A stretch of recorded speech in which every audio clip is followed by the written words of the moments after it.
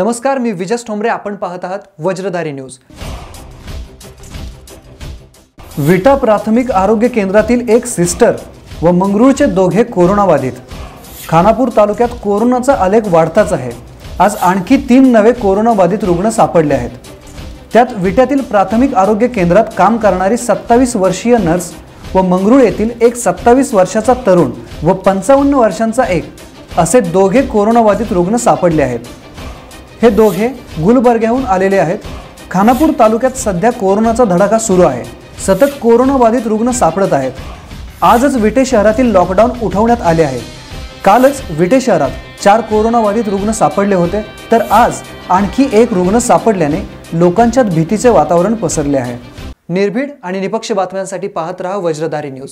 धन्यवाद. Shivshakti silver bungalow scheme.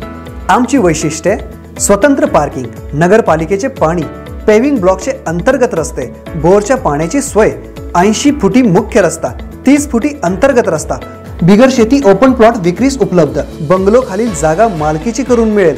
GST लागणार नाही. फक्त सोळा लाखांपासून फ्लॅट विक्रीस प्रारंभ.